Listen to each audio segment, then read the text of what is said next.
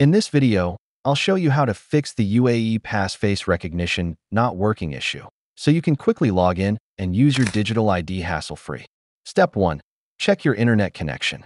Make sure you have a stable internet connection, either Wi-Fi or mobile data. Step 2. Update the UAE Pass app. Go to your device's app store and update the UAE Pass app to the latest version. Step 3. Clean your camera lens. Wipe your front camera gently to remove any dirt or smudges that may affect face recognition.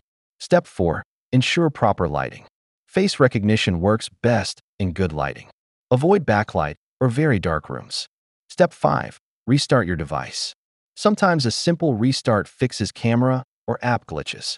Step 6. Re-register your face. If the problem persists, go to UAE Pass settings and delete your current face data.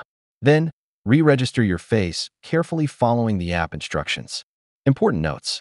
Make sure your face is fully visible and not covered by masks or sunglasses. Avoid sudden movements during face scanning. If all else fails, contact UAE Pass support for further assistance. Thanks for watching. If this helped, hit the like button and subscribe for more UAE Pass tips and tech fixes.